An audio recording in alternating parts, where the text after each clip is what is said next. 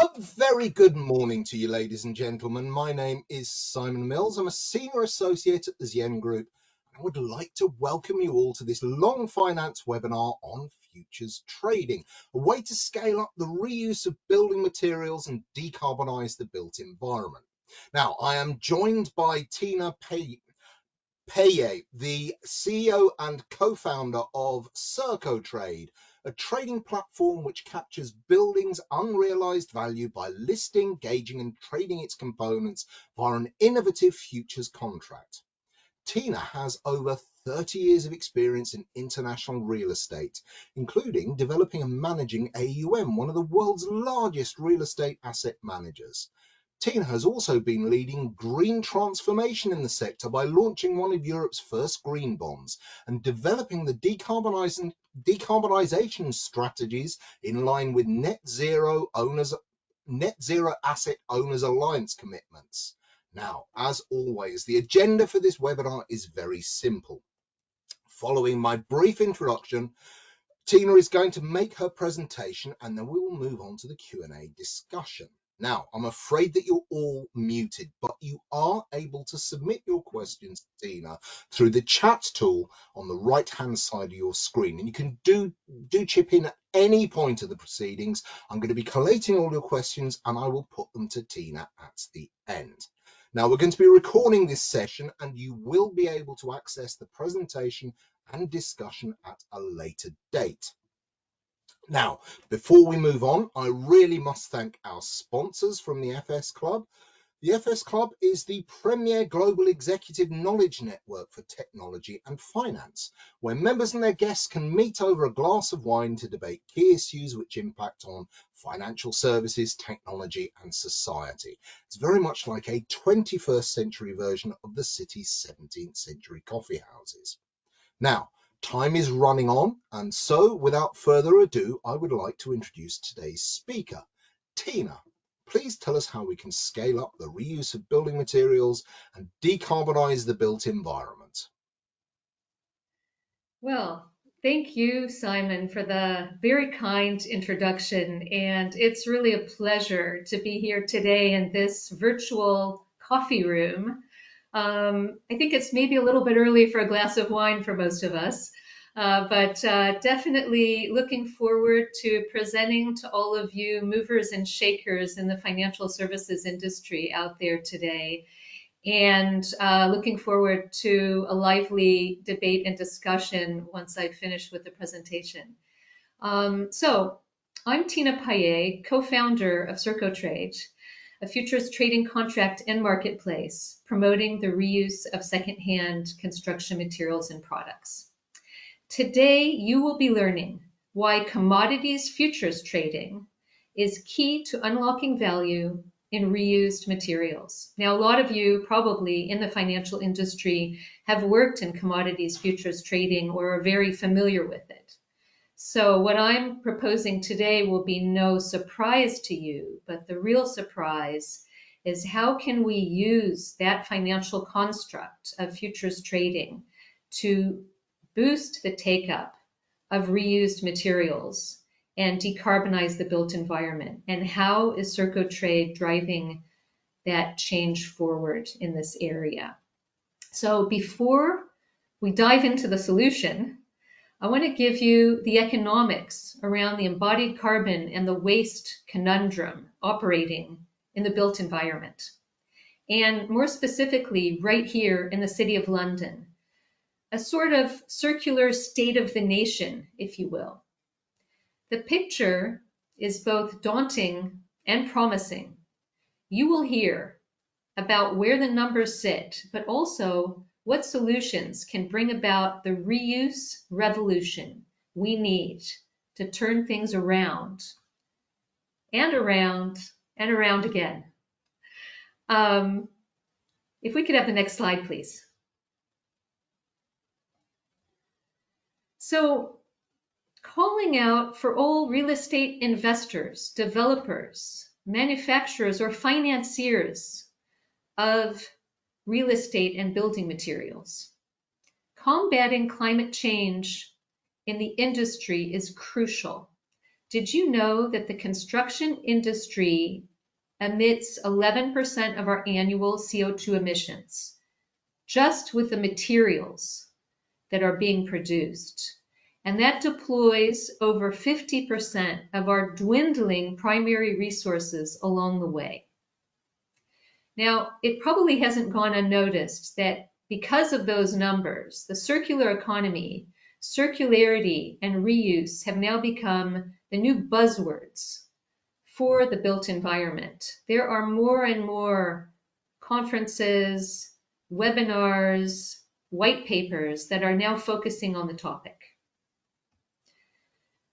But recycling while still crucial to sustainability, is now seen as yesterday's landfill, and for good cause. While it's known that our sector has a serious embodied carbon issue with virgin construction materials, recycling is also a very carbon intensive operation. Reuse avoids the carbon remanufacture of remanufacturing, and especially for products such as steel, aluminum, and glass. Could we have the next slide, please?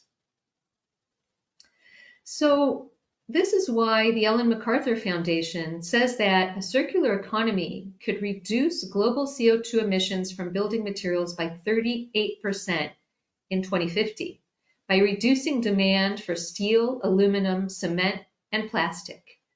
Likewise, current efforts to tackle decarbonization are focused on energy-related measures and that would only address 55% of the emissions. A circular economy, according to the Ellen MacArthur Foundation, is required to tackle the remaining 45%. Next slide. Yet globally, we continue to build a city the size of Paris every week. And building anything uses embodied carbon and the carbon clock is ticking. The City of London Corporation expects that by 2042, the city will need up to 20 million square feet of extra office space, up from around 50 million square feet today, as the square mile workforce is set to grow by 37,000 between 2021 and 2031. Tightening EPC regulations, that's environmental performance certificate regulations, and or energy performance, I'm sorry, energy performance regulations and minimum energy efficiency standards will create pressure on the quantity, quality, and efficiency of commercial premises. Many offices will see and will require serious fit outs to keep up. And where this is not possible, we will see demolitions and redevelopment. Next slide, please. This means that we will continue to have a waste problem if we keep building the way we currently do. The construction industry generates 62% of the UK's waste and 32% of all waste sent to landfill. Crucially, 13% of construction materials are diverted straight to waste without being used. And those are the numbers from DEFRA.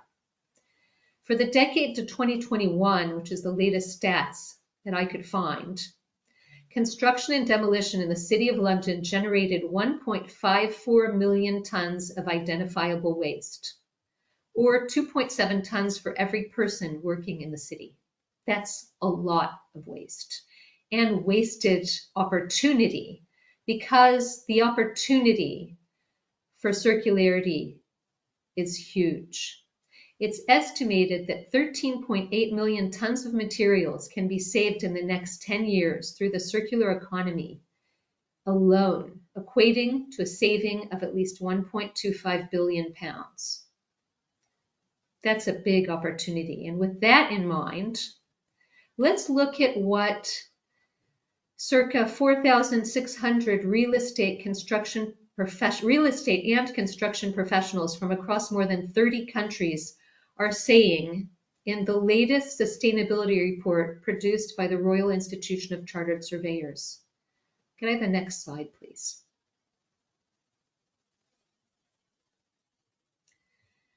Just 15%, first of all, maybe I don't know how many of you are aware of this RICS sustainability report, but the Royal Institution of Chartered Surveyors has been surveying the professional industry for about three years now and um, surveying them on their practices and their sentiment regarding sustainability issues.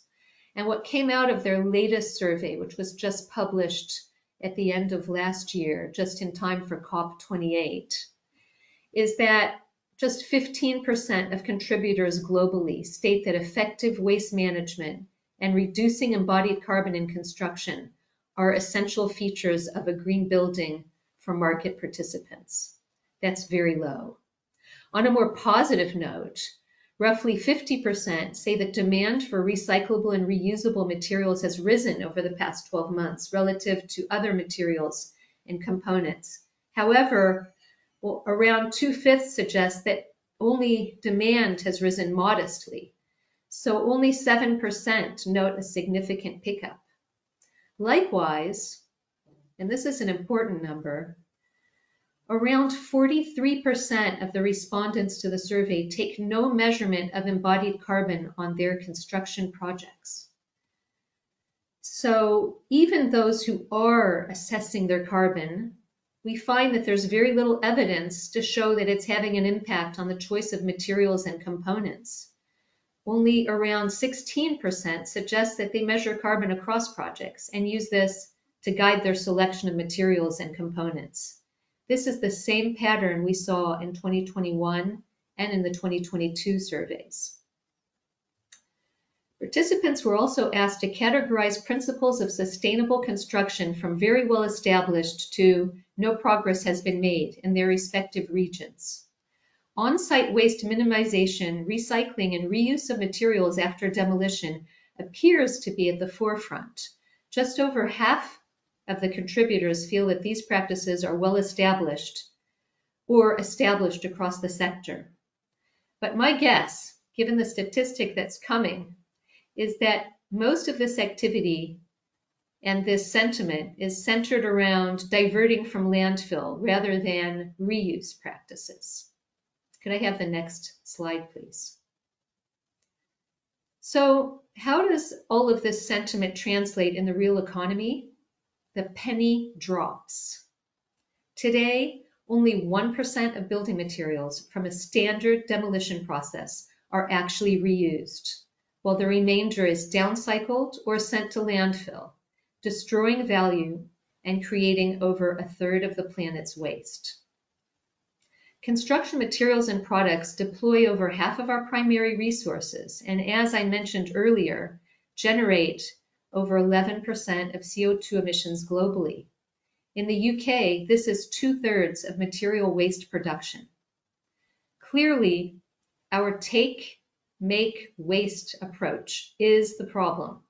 The solution lies in the reuse of those materials and products and buildings that we already have and which have already expended their CO2 emissions. We urgently need the industry to embrace the circular economy at scale.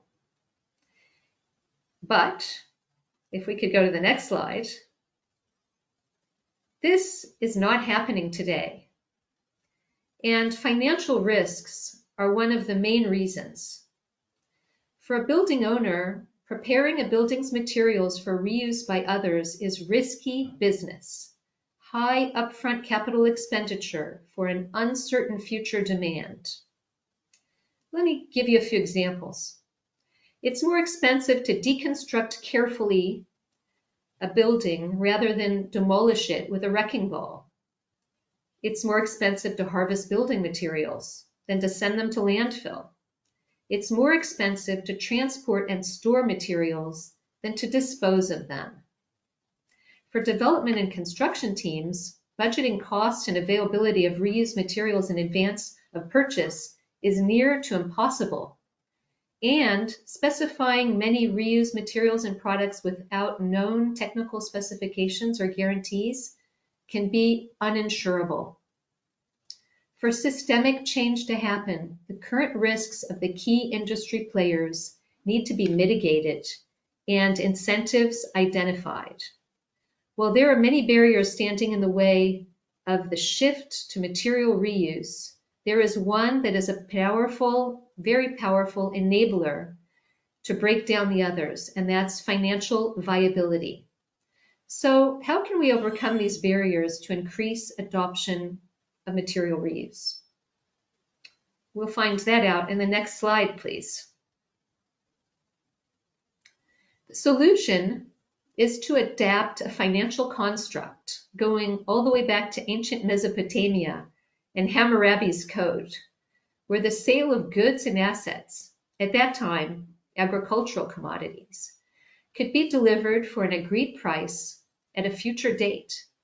This mechanism provided financial security and forward visibility in an otherwise uncertain world. Enter the very first active derivatives market, otherwise known as futures trading. Can we have the next slide, please? The solution that Trade proposes is to bring the power of finance to the circular economy.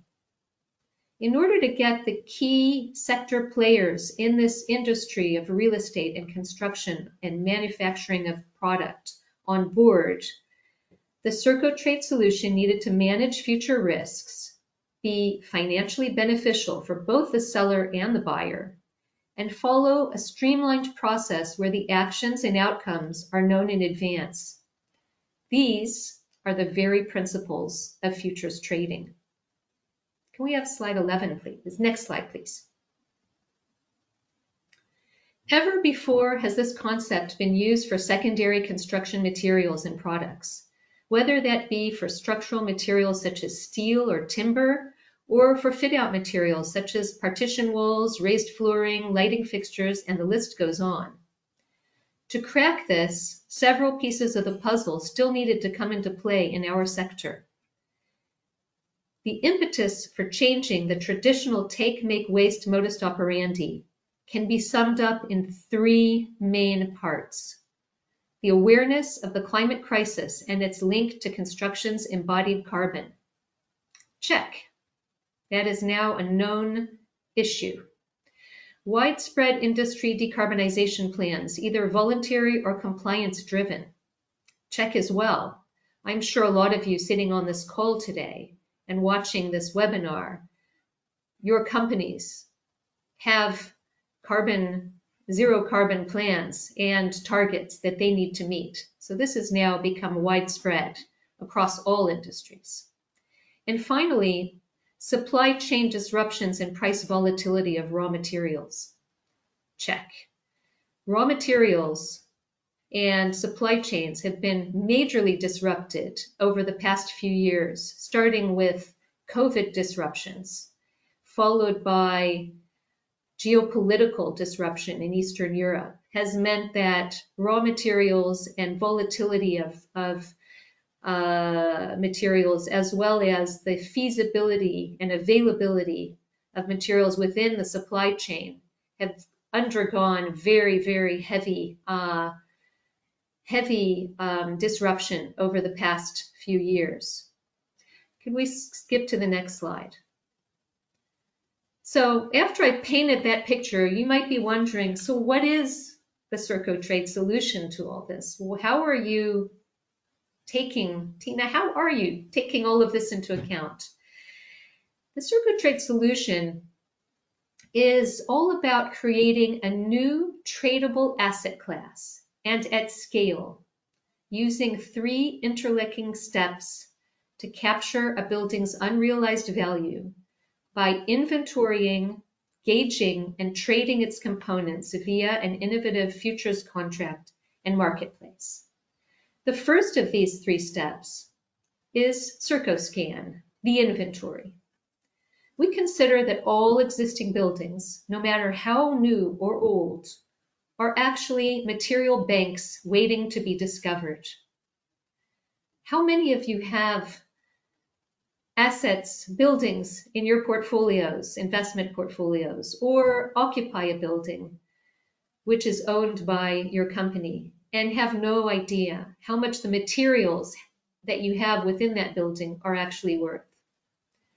This is what CircoScan is taking care of. We deploy market-leading technology and reuse inventory specialist teams in order to create a digital model listing your building's materials. Then we come to the second step, which is the Circo Pass.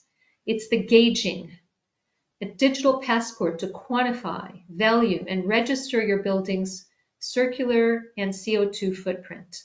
It's all about gauging how much these materials would be worth on the open market as a future and how much CO2 can be saved by, um, by, by reusing these materials rather than manufacturing new materials to replace them. And then finally, we get to CircoTrade, the trading part.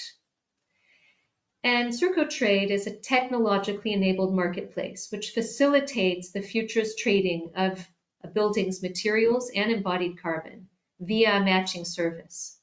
So now buyers, sellers, designers, and developers can lock in quantities and prices and track and trade these new assets over time.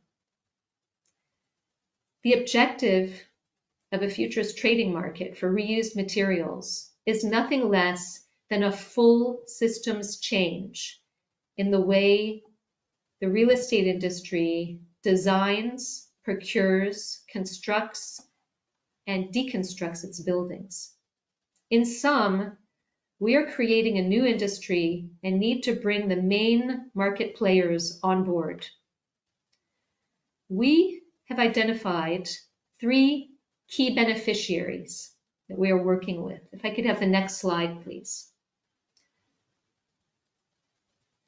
The first of the beneficiaries of the CircoTrade system are the building owners themselves, be they institutional investors and asset managers with large commercial real estate portfolios in Europe and the UK as they look to increase their ESG credentials, create value for their shareholders and investors, and get a head start in the race to zero carbon or to net zero.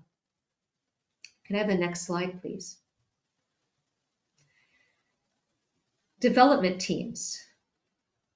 Construction contractors, developers, and their design teams and consultants, as well as their financiers, will gain access to a database of future reused materials, which will allow for design and construction of low carbon buildings to specification and to scale with certainty. And this is a key part of the issue because today there are uh, a number of websites where you can, even concluding eBay, where you can buy reused materials. But those reused materials don't necessarily have the scale which is needed to tip this issue for a major residential or commercial project. So you won't be able to buy at scale these materials. It's fine if you just want to buy one or two sinks or a door for a home refit. But if you're looking to source 100 sinks or 500 doors, and you want them to be to a technical specification which you can actually build into a future project, that's not happening today. This is what CircoTrade will be proposing. And then finally, the next slide. The manufacturers and salvage companies themselves, which today uh, need more than ever to hedge their construction material pricing volatility and to comply with voluntary and regulatory carbon, waste reduction, and circular economy targets can use CircoTrade to source large quantities of materials that they can use for producing low carbon and remanufacturing low carbon materials. So if we could move on to slide, the next slide, please. So where are we now? How, how is CircoTrade doing? And here in the City of London, I'm happy to say that we've carried out a pilot project on a 40,000 square meter office building, so that's about 400,000 square feet, in the City of London, uh, just at the end of last year, which demonstrated a resale value of 7.35 million pounds, or about a 1.5% increase in market value, as well as a 33 million ton savings of CO2 equivalent. If we could look at the next slide. The breakdown of this pilot project shows high value and high carbon savings for the reused steel, aluminum, and for a certain limited number of fit out products. We could go to the next slide, please.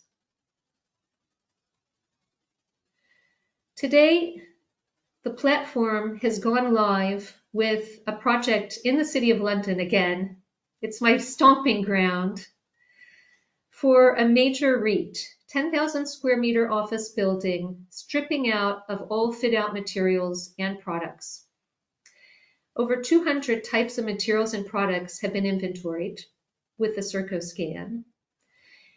We've also valued those materials for their embodied carbon and their resale pricing.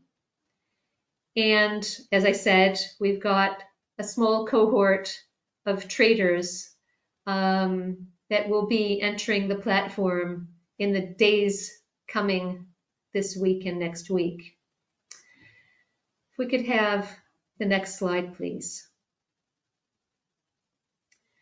So if you, in conclusion, if you are a real estate investor, a developer, a contractor, a manufacturer, or if you are a financier of those parties and you're interested in leveraging futures trading to create value while meeting your sustainability targets, do reach out to be part, part of this trading cohort that is just coming online.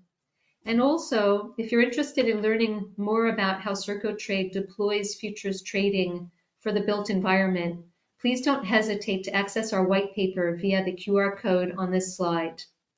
This white paper was developed with the support of the Circular Building Coalition as one of their blueprint projects. And I think that's it.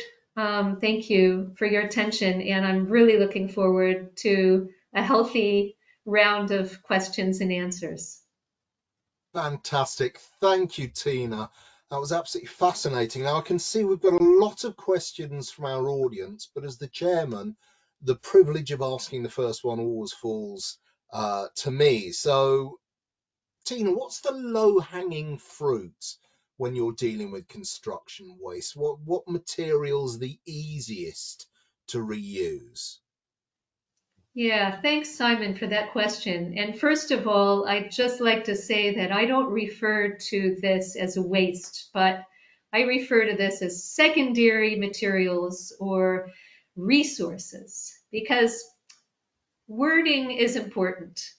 And so when we're talking about the low hanging fruit, as you said, for the resources in our existing buildings, which can be most readily reused, today we see couple of really, really amazing uh, amounts of materials being reused in one of two areas. The first one, and I'll explain a little bit more why these are the areas that we're seeing the reuse, which gives me much hope that we will be able to extend this.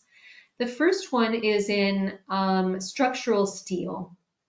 Structural steel has been in such great demand that the few providers of reused structural steel actually cannot meet all of the demand that they are being asked for. And the reason why structural steel is in such high demand is firstly, it has a very high carbon value. A lot of carbon goes into producing steel. And even if that steel isn't virgin steel, but it's steel that has been made from recycled steel, it's still using immense amounts of carbon. And so if you really want a low carbon steel option for a building that you are developing of structural steel, you should be looking to reused steel sections. Steel sections are very long, they have a great longevity. The UK has actually produced a, um, a protocol, a standard for recertifying reused steel sections. And likewise, um, they are very valuable and very durable. So for and, and standardized. So for all those reasons, structural steel is sort of hitting the sweet spot in the reuse market. The second reuse, um, I would say, category that's getting a lot of take up right now is raised access flooring. Um, for those of you who aren't technical, that's all that all those panels that are hiding beneath the carpet tiles um, that are panels that uh, allow all of the cabling and other um, services to run underneath the floor. And these again are very uh, standardized, um, quite durable, and do have uh, recertification um, standards. And uh, there are actors on the market who are regularly uh, recertifying and requalifying and reconditioning these um, particular materials for reuse. And they're also coming in high demand and are not enough are available. So the reason why those two are the low hanging fruit is because they already have requalification and recertification standards and a supply chain of providers who are requalifying them. This is what needs to happen for the rest of the market, for those materials to go much wider list. And I think that CircoTrade will be providing the impetus to that because with the visibility of the materials coming to market, with the massification of those materials, um, other providers in this ecosystem can step up and start providing new standards and new business models around recovering and repurposing these materials. Fantastic. Now, due to regulation, the car industry is beginning to build cars which are designed for disassembly and, and component reuse. Should there be regulation imposed on the construction industry to do the same? Yeah, it's a great question, Simon. And I can say that there is a lot of push towards design for disassembly in the construction industry. And tools like BIM, uh, Building Information Management Modeling, are going to be very helpful for that, but also things that we are calling um, uh, material passports will be very helpful as well, because what happens there is a new building is designed and the passport of each of those materials, its technical specification and its uh, ownership are registered in a passport, which can then go be passed down and used by the asset manager of the building, the property manager, can be passed on to a new buyer. And those are key initiatives that will really facilitate uh, design for disassembly. But I have to say one thing here. The reason why with CircoTrade we focused on existing buildings is that only 1% of our um, overall uh, real estate market is renewed each year. And over uh, 80% of the buildings that exist today will still exist in 2050. And the problem we have is that those buildings will start being renovated for energy efficiency according to regulations. And those buildings need to be renovated in a way and with materials that do not blow our carbon budget day one. The problem with the building industry is as soon as you deploy it, even before the lights go on, even before the keys have been handed over to the end user, you've already expended enough carbon that no matter how efficient your building is, it probably will take 40 years or more to actually offset the carbon you used by building the building. So we need to keep our buildings, we need to renovate them, but above all, we need to be renovating and constructing with reused materials to avoid blowing our carbon budget too early. On the subject of carb of, of, of, carbon, is there any move to uh, create a carbon market for the construction industry? So you could actually gain credits for uh, disassembly and, and reuse that you could sell you know, specifically for, for refurbishment? Yeah, so Simon, you've been reading in my mind. I had a few slides, given the time, I cut them out on the work that I've been carrying out regarding carbon credits and actually a reused materials tax credit, uh, which I think could be extremely beneficial to roll out in the UK market. And I've started discussions with HMRC on the idea of a reused materials tax credit or tax relief, which I think could be really useful. Um, I know that uh, things like the EU ETS um, emissions trading system is being enlarged to cover uh, buildings, but that is mainly covering in the built environment sector, it's mainly covering the operational um, carbon, meaning the electricity. But the ETS uh, Fit for 50 covers things like concrete and cement uh, and steel and aluminum mainly. And so those materials themselves will be coming across a um, carbon border tax the CBAM, I think it's called, Carbon Border Adjustment Mechanism, when they are imported into Europe, which will allow those materials and those producers of materials in Europe to be that much more competitive with uh, exterior producers who may not be um, carrying out the same sort of uh, diligence and cost around decarbonizing those operations. So I hope that's answered your question. I've got lots to talk about on that issue though, so more questions are welcome. So watch this space, in other words. Now, how big is the CircoTrade market at the moment and, and how big is it predicted to become? Oh, wow. There's the million dollar question. So today we are, as I said, we are uh, with our first live trade here in London. So it's early days and I wouldn't be able to give a sort of size of the market.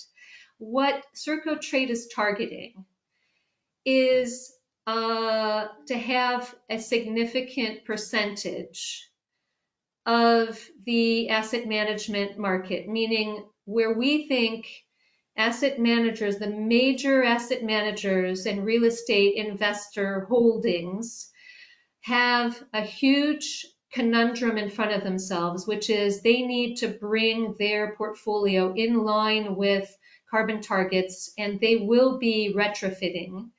And those retrofit projects are what is targeted by CircoTrade as projects that we should be able to uh, add value to and to create value with by inventorying, gauging, and trading the materials that come out of one building and go into another during those refits.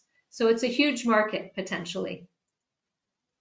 Fantastic. Now we have got time for one more question, and I think this is literally the million dollar question. One of the issues you're facing um, is the innate conservatism of uh, the construction industry. It can take decades for uh, new construction um, techniques to be adopted.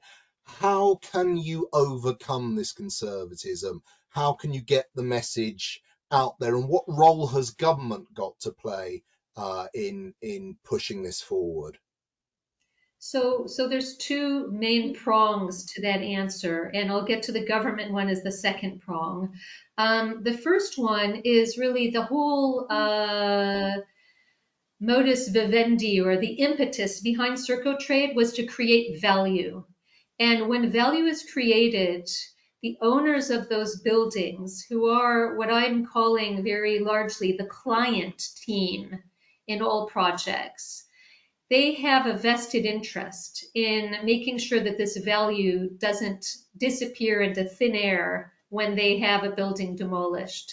So once you have the client side on board and they see the value in the process, they will, and, and I was for a very long time, I think you might have mentioned it in the introduction, but for a very long time, I was uh, a major real estate investor, developer, and asset manager. So I know how it works. And once you have a line item of value in your uh, balance sheet, you do not want to see that value destroyed. And I also know that when a client has their mind set on something, the rest of the design, construction, development team, including the insurers, the financiers, the whole ecosystem will fall into place if the client pushes hard enough for what they want. And so I'm counting on the uh, the client side to be pushing the envelope and making sure that this changes. And I have to say, I've had some really, really encouraging discussions with both investment side, but also the construction and the demolition side of companies that now, for the reasons that I've just said, their clients are asking for low carbon construction. They need to find ways to carry out the low carbon and reuse is a no-brainer. So it's happening there. And I think the other prong is governmental regulation. And we've seen in countries such as France uh, and the Nordics where there is a whole life carbon um, whole life carbon assessment uh, requirement and a whole life carbon threshold that can not be overpassed by new construction or refurbishment projects, we all of a sudden see that with that sort of legislation, we are seeing a push towards more reuse because it's low carbon. So the carbon is almost a facilitator to pushing for reuse, which has umpteen other um, big positive uh, benefits too, you know, including local, uh, much more local job employment. Um, you know, it takes very little people to tear a building down with a few big wrecking balls. It takes a lot more qualified resources, human resource to deconstruct a building. And that's really valuable. And so we can see a shift of the money towards um, re, the shift of the money towards people rather than machines by going down the circular economy. Fantastic. Now, I'm afraid that time has caught up with us, ladies and gentlemen. I know that some of you have still got questions to ask. Please do contact Tina to continue this discussion, or you can email us and, and we'll pass your your questions on. It just remains for me to uh, thank Tina for her presentation and you, our audience, for your uh, contributions to today's discussions. I'd also urge you to keep an eye on the forthcoming events page for a truly eclectic mix of webinars, which include uh, the real high flyers migrating with birds and other animals and why this matters to the City of London, our supply chains and our future, which is taking place on the 1st of May. Generations does when you're born shape who you are, which is on the 2nd of May. And global warming, energy costs, and water poverty, the need for green plumbing in the UK and worldwide, which is on the 7th of May. You can catch up with all our previous webinars on our website, on our YouTube, and our LinkedIn channels. We do hope to see you again soon. Thank you very much and goodbye.